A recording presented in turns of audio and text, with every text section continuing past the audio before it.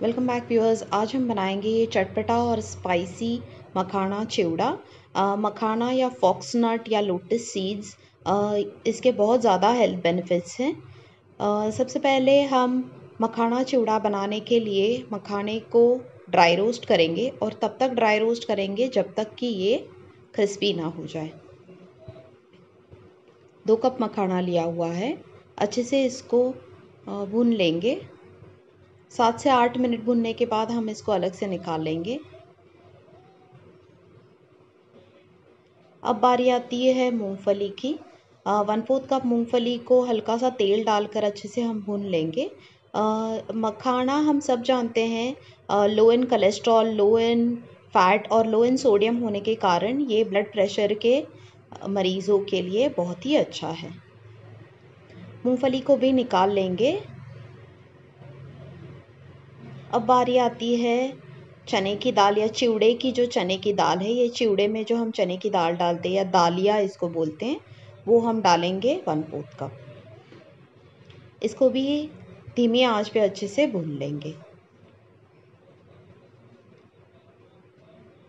मखाना में astringent properties होने के कारण ये किडनी की जिस, जिनको तकलीफ़ है, उनके लिए ये बहुत ही गुणकारी है। अब हम बनाएँगे चटपटा मसाला। चटपटा मसाला बनाने के लिए हम लेंगे दो चम्मच काश्मीरी मिर्च। ये काश्मीरी मिर्च है, ये बिल्कुल भी तीखी नहीं है, लेकिन ये हमारे चिवड़े को बहुत अच्छा कलर देगी। ये मैं डाल रही हूँ चाट मसाला वन टीस्पून। ये मैं डाल रही हूँ अमचूर पाउडर वन टीस्पून। कश्मीरी मिर्च बिल्कुल ही तीखी नहीं होती, लेकिन कलर बहुत अच्छा आता है। चिवड़ा स्पाइसी ये नमक डाल रही हूँ स्वाद अनुसार। हम चिवड़े का नमक इसी मसाले में डालेंगे। ये अच्छे से मिक्स करके हमारा चटपटा मसाला रेडी है। मैं जो भी स्पाइस देना है, वो मैं हरी मिर्चियाँ तड़के में डालकर ये चिवड़े को हम स्पाइसी बनाएँगे। ये फ़िलहाल हमारा चटपटा मसाला बनकर रेडी है।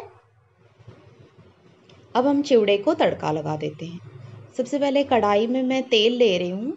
तेल में हम राई डालेंगे।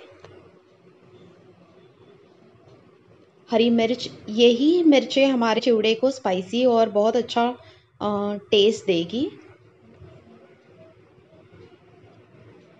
इसके बाद बारी आती है कड़ी पत्ते के कुछ पत्ते डालेंगे। जैसे ही राई फूटने लगती है, हम डालेंगे हींग।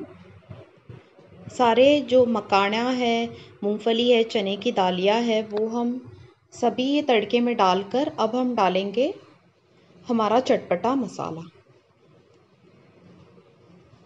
आप नमक टेस्ट करके अगर आपको कम लगे तो आप नमक ये स्टेज पे ऐड कर सकते हैं। अच्छे से हम मिक्स कर लेंगे हमारे मसालों को मखाने के साथ और सात से आठ मिनट के लिए ये धीमी आँच पे अच्छे से इसको भून लेंगे। सात से आठ मिनट हो चुके हैं मेरे मखाने का चिवड़ा बन के रेडी है। अब हम इसमें ऐड करेंगे काले किशमिश। अगर आपके पास काले किशमिश अवेलेबल नहीं है तो आप नॉर्मल किशमिश भी ऐड कर सकते हैं। मखाना वेट लॉस के लिए बहुत ही अच्छा होता है। आपको ये बहुत, चिवड़ा आपको कैल्शियम में रिच होने के कारण आपको बोन के लिए भी ये गुणकारी है।